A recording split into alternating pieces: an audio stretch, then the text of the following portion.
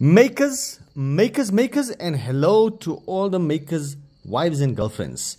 Something that I haven't had in a while that I've got in stock again is giraffe bone. So, guys, these are absolutely beautiful. This is all the stock that I've managed to get.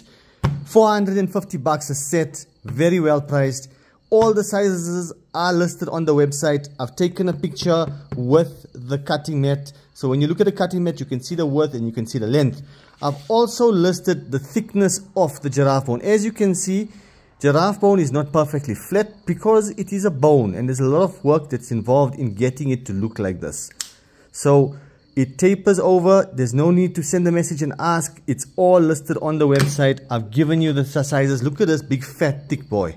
Look at this. Oh, we can call it a girl also. A like a thick girl. Look how big it is.